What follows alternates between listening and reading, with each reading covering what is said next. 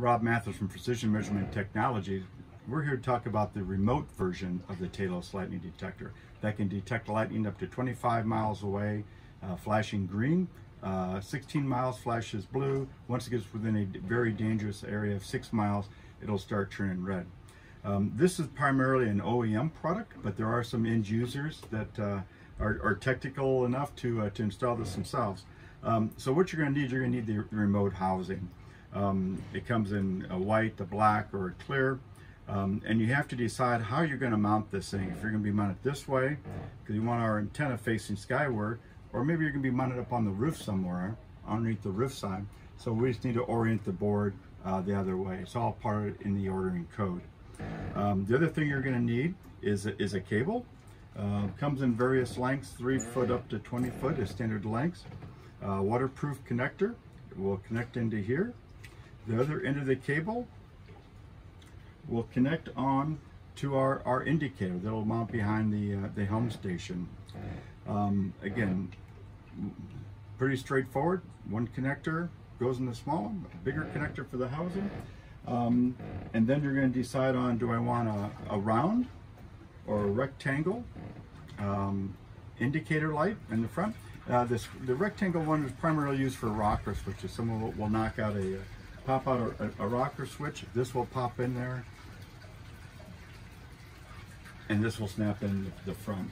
But most people choose to do the, the round one because it just requires a three quarter inch hole, drill through there, and on the back side, you just use a, a nylon nut to secure it on the back side.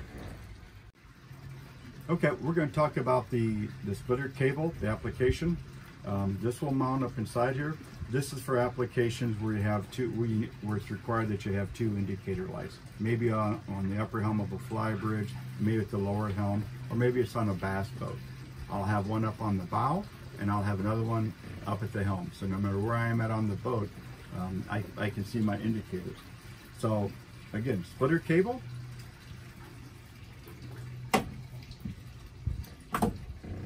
And your cable will just mount on each end of the splitter cable, which comes up and mounts to the remote indicator.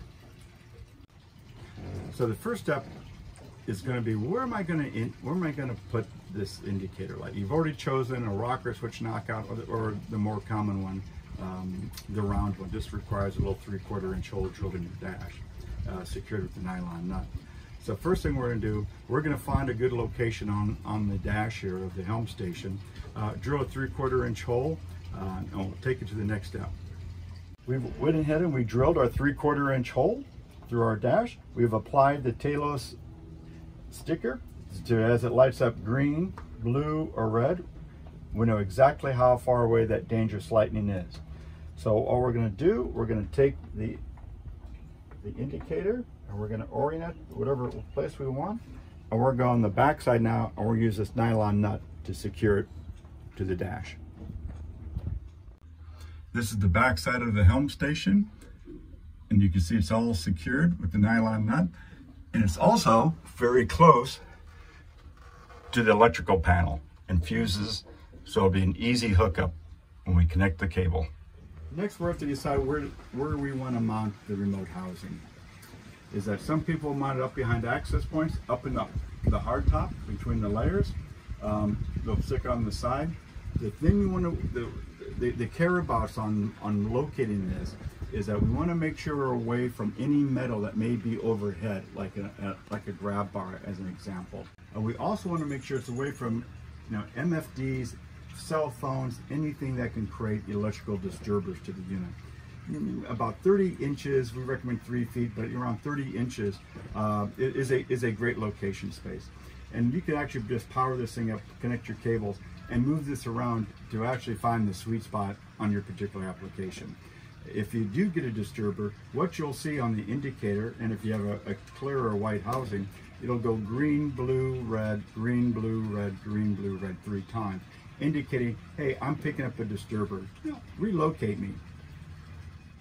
Okay, for this installation on this Boston Whaler, I found an ideal spot right up here. I've tested it earlier just to make sure we don't have any disturbers, electrical noise giving us false signals. The other thing you want to be careful about when you place this, for the placement of this, is that make sure it's away from cup holders because people tend to take their cell phone and stick it in the cup holder which will generate electrical noise, again, which will give you false triggering of the detector.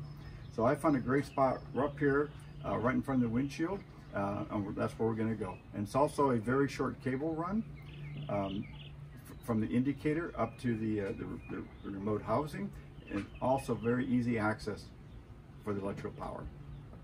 This is the spot in front of the windshield that I found, away from the electrical windshield wiper motor and far enough away from the MFD.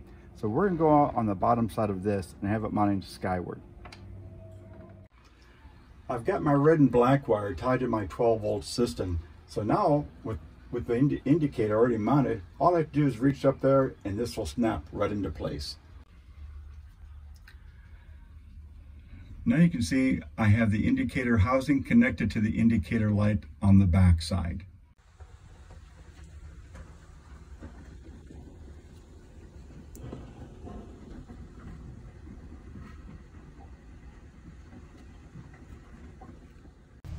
Now we have the Talos unit installed. Let's take a look at what the colors indicate. First you'll notice a yellow flash every minute. This indicates Talos is working and monitoring for dangerous lightning. When the indicator is flashing green every two seconds, this situational awareness means lightning is approximately 25 miles away, which is the distance lightning can strike.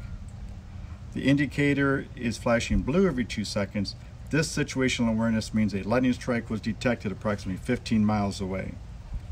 When the indicator is flashing red every two seconds, this situational awareness is the most dangerous condition, indicating dangerous lightning has been detected within six miles of your location. Once a lightning strike is detected, the unit will continue to flash the color range for 15 minutes, providing no other strikes were detected. Following NOAA's recommendation, it is now safe to continue your activities.